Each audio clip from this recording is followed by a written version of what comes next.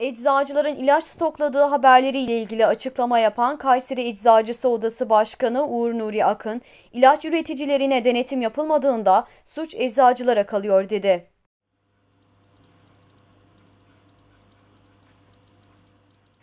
Eczacılar olarak ekonomik kaygılardan çok halk sağlığı kaygılarının olduğunu söyleyen Akın, eczacılık ile stokçuluk sözü bir araya gelmemesi gerektiğini daha öncelerde de söyledik. Çünkü tüm dünya küresel anlamda ekonomik krizden geçtiğini belirtti. Öncelikli olarak bu stokçuluk lafını kesinlikle reddettiğimizi, hiçbir şekilde eczacıyla ve stokçuluğu bir araya getirmemesi gerektiğini defalarca söyledik.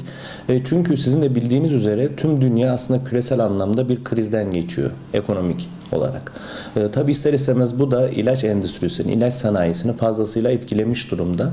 Ancak geriye dönüp baktığımızda e, şu uyarıyı özellikle yapmak istiyorum. Özellikle ilaçlar fiyatlandırılırken e, belli bir kanun çerçevesinde yapıldığı için ve dönem dönemde bunlara işte e, farklı algılar oluşturulduğu için e, bizlerin hep savunduğu bir şey var. Bizler ilacı Türkiye'nin bir ucunda da aynı fiyatta satarız. Diğer ucunda da aynı fiyatta satarız. Bununla alakalı herhangi bir değişiklik olmadığı için meslektaşlarımızın da kesinlikle stokçulukla bir araya getirip ilaçları bu şekilde kendi ünyesi, kendi bünyesine katması gibi bir durum söz konusu olamaz. Çünkü e, referans fiyat uygulaması dediğimiz bir uygulama var. Aslında ilaç yoklarının temelinde bu yatıyor.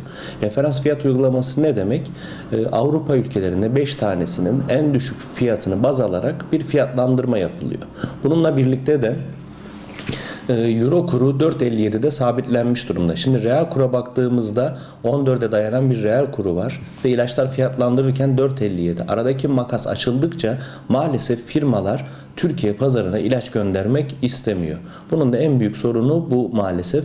Bu yüzden de denetimlerin eczanelerden çok ilaç üreticilerine yapılmasını hep söylüyoruz. Çünkü ilaç üreticilerine yapılmadığı vakit bu sefer suç bizim üzerimize kalıyor ve biz de kesinlikle kabul etmiyoruz. Çünkü bizim meslektaşlarımız, bizim mesleğimiz halk sağlığını ön planda tutuyor ve bundan dolayı da her zaman önceliğimiz halk sağlığı olduğu için ekonomik kaygılarımız ikinci planda.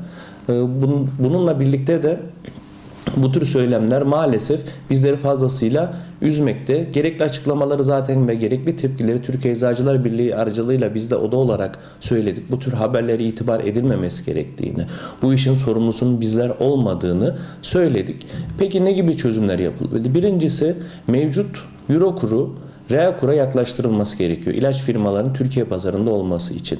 Bununla birlikte bizim her yıl Şubat ayında gelen zamları yıla yaymaları gerekiyor. Çünkü Şubat ayına yaklaştığımız vakit firmalar zamlı satması e, zamlı satmak için maalesef ilaçları ilaç depolarına göndermiyor. İlaç depolarına gelmeyince de maalesef eczanelere ulaşmıyor. E, bunun gibi birçok çözüm önerisini sunabiliriz. E, bizim hep söylüyoruz. Yine tekrarlıyorum. Eczacılar en yakın sağlık danışmanıdır. Halk sağlığını ön planda tutar ve e, zaten ilacı bulsak biz vatandaş ulaştırmak için çabalayacağız. Sizler de görüyorsunuz vatandaş kapı kapı eczane geziyor. İlacın, dört kalem ilacın ikisini bir eczaneden buluyor, birini bir eczaneden buluyor. Hepsini aynı bir yerde bulacağı eczaneler azalmış durumda. Çünkü gerçekten halk sağlığını ilerleyen süreçte tehdit edecek boyutlara varacak bir ilaç yokluğundan söz edebiliriz.